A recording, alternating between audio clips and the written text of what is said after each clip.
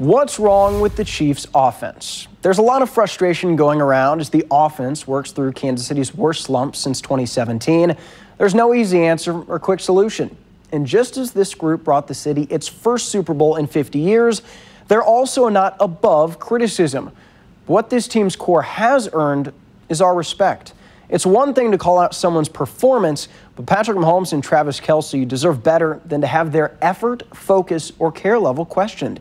Travis Kelce's had a rough few games, yes, but he's also caught a pass in every single NFL game he's ever played a snap in, playing through injury to never miss a game over eight years. He's on pace for a sixth straight 1,000 yard season. No tight end in NFL history has more than three straight.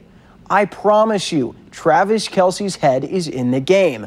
If anything, he's trying to do too much because he cares so much. Patrick Mahomes has easily had the worst stretch and season of his career, but he's also still off to the best career start of any quarterback the game has ever seen. And he did turn in one of the best seasons in NFL history just three years ago.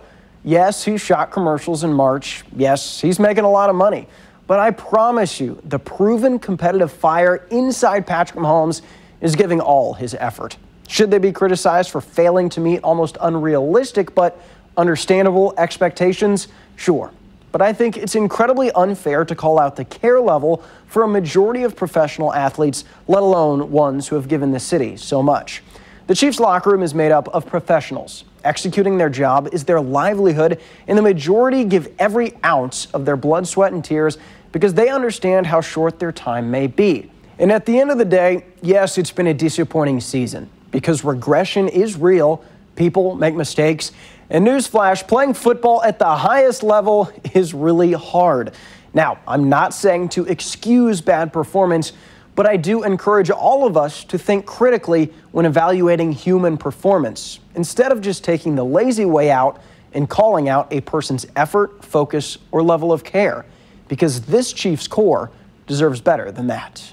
A lot of people on social media say a lot of disrespectful stuff to players, not understanding that we're human too and we don't go out there trying to not, I mean, trying to make mistakes or not play to our best ability.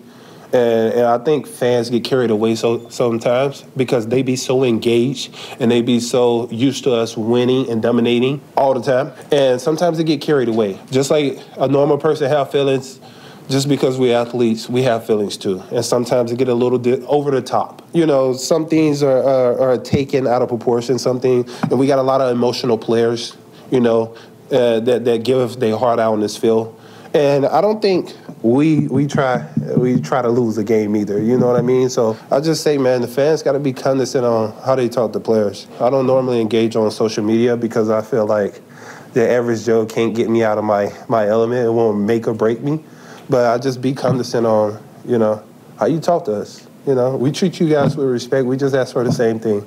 It's not like we try not to go out and not give our all every every week for you guys. So, and we appreciate you guys dearly. I love the KC. I love the Kingdom. I love the fans, and we're gonna turn this thing around. Kansas City looks for a third straight win under the primetime lights of Sunday Night Football. Chiefs Raiders kickoff in Vegas set for 7:20. Remember to start your Sunday right here at 10 a.m. for our game day pregame show with Danny Welniak and Desmond Moses. Then